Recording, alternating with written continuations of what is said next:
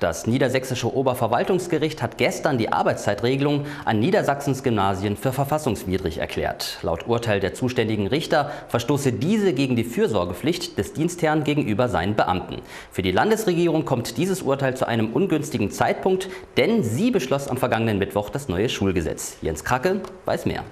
Seit letzten Mittwoch ist es amtlich. Mit nur knapper Mehrheit stimmte der Niedersächsische Landtag für das neue Schulgesetz. Zu den Änderungen gehören unter anderem die Rückkehr zum Abitur nach neun Jahren, der schrittweise Wegfall von Förderschulen ohne sprachlichen Schwerpunkt und eine Stärkung der Gesamtschulen. Aber wie kommt das neue Gesetz bei den Bürgern an?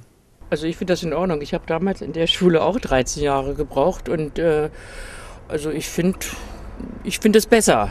Es waren ja auch viele dagegen, auch wenn sie die Schüler gefragt haben, die waren ja total überfordert. Also nicht überfordert, aber die haben gesagt, es wäre viel mehr Arbeit ist eben gedrängter. Also ich finde das äh, eine gute Entscheidung. Die Rückkehr nach 13 ist vollkommen richtig. Wir müssen erst den jungen Leuten etwas mehr Zeit geben. Und das Zweite, äh, wenn man sich das mal ausrechnet, äh, dass dann Leute mit 17 anfangen zu studieren und dann sollen sie mit 21, 22 schon gleich loslegen.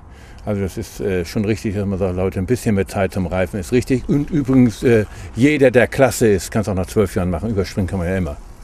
Einige Bürger sahen das neue Gesetz jedoch durchaus kritisch. Also ich finde es immer schwer, sich da wirklich auf eins festzulegen, weil ich habe irgendwie so das Gefühl, dass sich immer, dass es immer so, so ein kleines Hin und Her ist. Also wenn wir jetzt wieder auf 13 umsteigen, dann wollen andere wieder 12 und dann wird das wieder nach ein paar Jahren äh, gewechselt auf 12 Jahren. Also das ist immer, finde ich, so ein nerviges Hin und Her. Also ich habe jetzt nach 12 Jahren äh, Abitur gemacht, also dieses Jahr bin ich fertig geworden.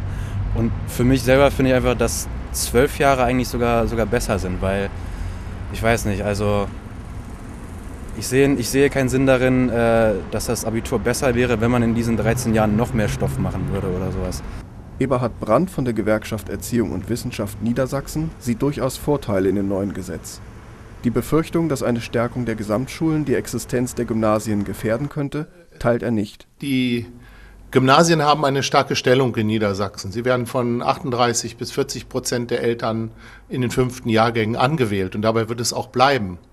Äh, in einzelnen Fällen kann es sicherlich sein, dass auf dem Lande die Frage steht, ob jedes Gymnasium erhalten werden muss.